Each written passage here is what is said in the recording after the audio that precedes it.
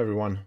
In this demo, I will show you how to deploy a PostgreSQL hyperscale server group in an Azure Kubernetes Service Cluster as part of Azure Arc enabled data services using a Jumpstart automation.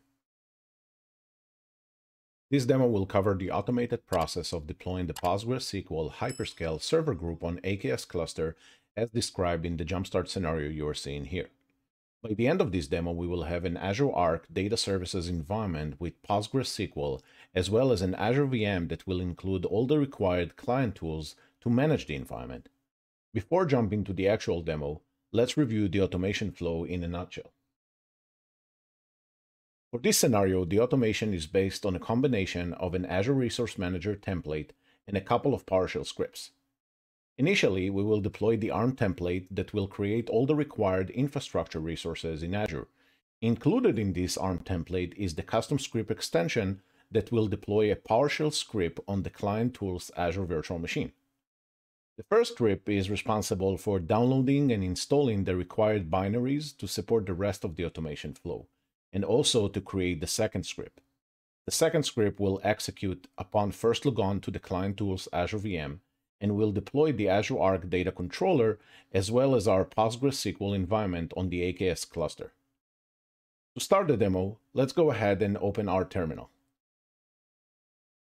In my environment, I already cloned the Azure Arc Jumpstart GitHub repository and navigated to our deployment directory where all the code base for this automated scenario is located, including the ARM template parameters file that you will need to edit with your own values.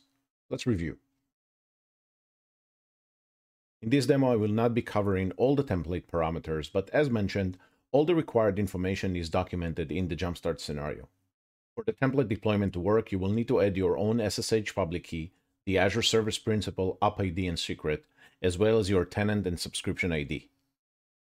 Next, edit the values for the client tools VM and provide it with a name, username, and password. All Azure resources needs to go into a resource group, so let's go ahead and create one. Notice that the name of the resource group and its Azure region match the ones that you have in the template parameters file we've just edited. To deploy the ARM template, we will use the AZ deployment group create command.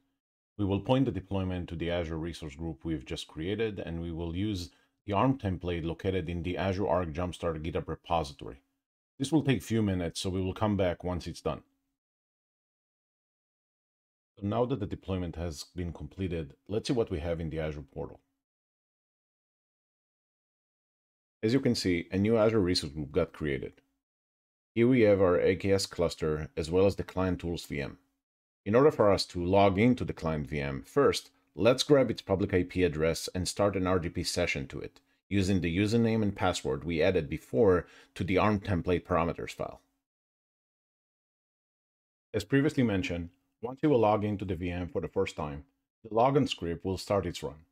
The script will deploy the Azure Arc Data Controller and the PostgreSQL Hyperscale Server Group on the AKS cluster and will then restore a demo database. Finally, Azure Data Studio will open automatically. It is important to mention that in this scenario, the Postgres service will be deployed in what is called directly connected mode. If the Azure Arc enabled data services are directly connected to Azure, then users can use Azure Resource Manager APIs, the Azure CLI, and the Azure portal to operate the Azure Arc data services. The directly connected mode experience is much like how you would use any other Azure service with provisioning or deprovisioning, scaling, configuring, all in the Azure portal. Again, the script will take a few minutes to complete, so we will come back once it's done. Now that the deployment has finished and Azure Data Studio is open, under the Connections section, we can see the PostgreSQL environment and the demo database that got restored, all in a fully automated fashion.